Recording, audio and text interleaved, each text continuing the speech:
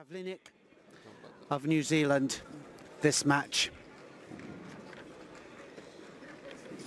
Üçüncü tabanca şapalladı. Altın geriye kalma derecesi. Beş ayının bizesi.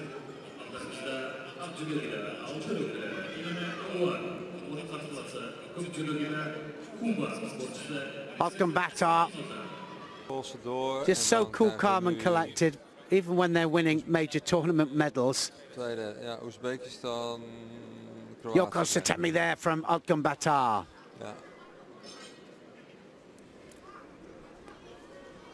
Now to, trying to tie up the top half. Can he tie it up? New Zealand are doing well, but it's offside Komi. Otgonbaatar secures the Yeah. hold. He's Yeah. got to keep the arm out now. Keep the leg out, sorry. Hij had de haast geen. And he does well there, Pavlinic. Credit to him. Hij laat hem gaan, Eight seconds laat hem glippen. on the clock. No Die in Mongolië. Yuko probably doesn't know who he's fighting here. Uuganbaatar has incredible technique as well. Looking for the tai otoshi. It's Ippon. Oh, brilliant stuff. Uuganbaatar just whips the leg across.